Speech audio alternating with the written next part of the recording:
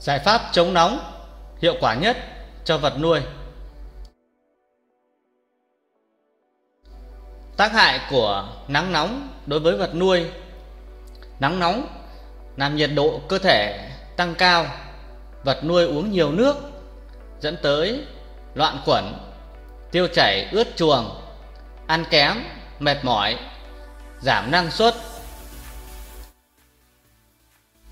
Giải pháp chống nóng hiệu quả nhất vào thời gian nắng nóng, chúng ta cho chạy hệ thống quạt, chạy hệ thống dàn mát hoặc là dàn phun nước ở trên mái.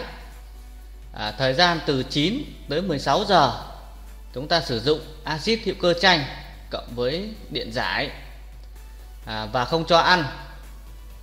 À, cho ăn thì chúng ta cho ăn sớm à, trước 9 giờ sáng và buổi chiều thì cho ăn muộn sau 16 giờ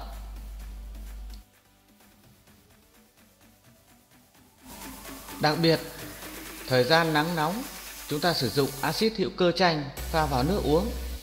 Nó sẽ giúp ngưng ngay cái hiện tượng mà con vật uống nhiều nước và chán ăn. À, giải nhiệt, chống nóng, chống mệt mỏi, chống loạn khuẩn, vật nuôi vẫn ăn tốt, à, năng suất ổn định, tăng trọng tốt. Chúc mọi người thành công!